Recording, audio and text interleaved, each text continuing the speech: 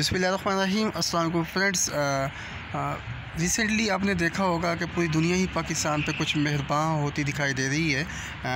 Japan کی طرف اور جرمنی کی طرف کافی تعداد میں جو ہے ویزے پاکستانیوں کے لیے اسٹارٹ کیے جا رہے ہیں اور پاکستان بھیجے جا رہے ہیں۔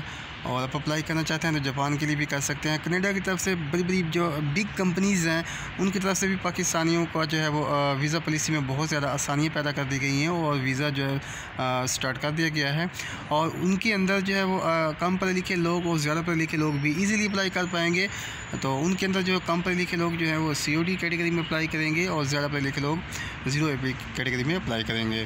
تو یہ ویڈیو جو ہے، اس میں کوکولا کی طرف سے بہت ساری جابز ہیں۔ پہلے آپ جو ہے فیک جاب دیکھتے ہوں دیکھتے رہے ہیں بہت عرصہ تک۔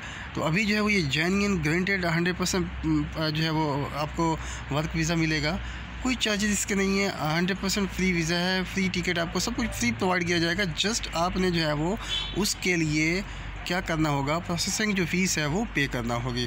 تو یہ میں آپ کے ساتھ جو ہے وہ شیئر کروں گا۔ آن لائن اپلائی کرنا ہے، یہ میں آپ کے ساتھ شیئر کروں گا۔